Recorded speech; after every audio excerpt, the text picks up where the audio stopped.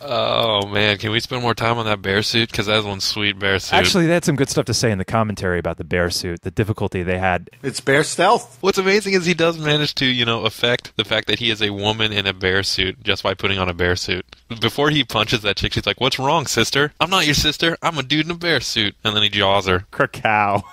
When you hit somebody with like your hand in the paw of a bear suit, I feel like it wouldn't hurt as much. Yeah, you can't really clench the fist. I think it would hurt more. The claws were still on yeah, that but thing. it's a bear suit. It's not like they skinned a bear and just put the claws on. They're probably like, yeah, it's not an actual bear. He doesn't maul her. It was an actual bear at one point, though. I think the flesh remembers. what would be awesome is if he just like ripped open the like suit and threw a bear cub at her, and then the bear cub mauled her. It's like, what's wrong, sister? In a bear suit, it's like wrong. This is an actual bear. There was a bear in this bear suit.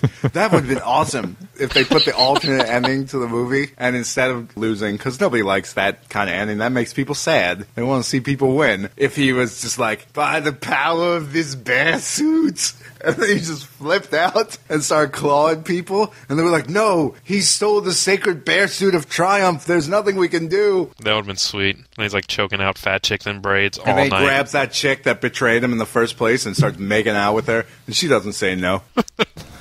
Well, remember that Berserk and Bear had the same Indo-European root. yes, bearskin. Exactly. Getting away from the bearskin, I know you guys don't want to. It's probably the highlight of the film. It's most of it. How to get burned.